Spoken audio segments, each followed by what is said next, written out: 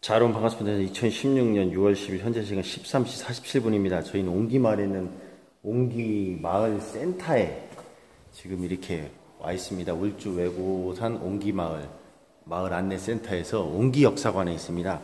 그래서 이제, 이제 전면에 보이시는 것처럼 옹기 마을의 그 실제 조명도를 이렇게 쭉 그래서 지도에 나와 있는 모습하고 뭐그 흡사합니다. 그래서 이렇게 해서 옹기마을을 형상화했고 그 다음에 여기는 이제 각종 뭐 일성토기, 옹기골, 도예, 그 다음에 영화요, 경남요, 성일도기, 가야신라토기, 영남요, 성창요, 금천토기처럼 아까 말씀드렸던 이 주에 있는 그 공방들의 이름들을 쭉 해고 실제 작품들을 전시를 해놓은 겁니다.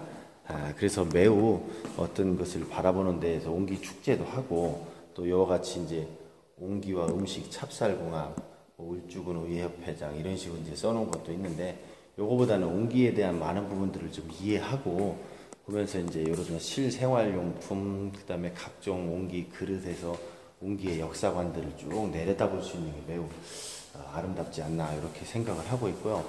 옹기 마을에서 이제 옹기 마을이 여기 보면 이제 옹기 마을이 이제 한참 승행을 하다가 7, 80년대에서 이제 산업 전체가 위기가 되면서 옹기 마을이 좀 줄었던 거.